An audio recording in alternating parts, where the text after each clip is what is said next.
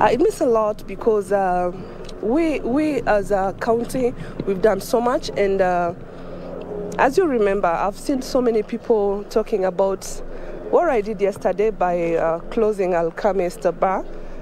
I want to tell the people of Kenya, it is, it is the high time that racism has to stop in Nairobi and in Kenya as a whole.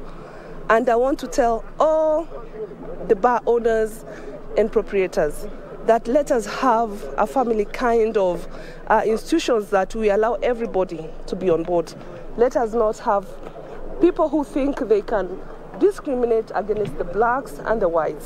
We are all family. We have so many ambassadors in this country.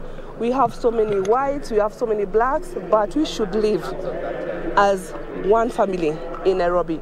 And for me, as Anne, I will not allow any racism by anyone because I've traveled uh, so many countries. I've never seen this happening. So it cannot happen in my own county. That's what I said no. And please, the, the guys going around and uh, making some funny videos, I want to tell you, Nairobi is a no racism zone. Thank you. Thank you.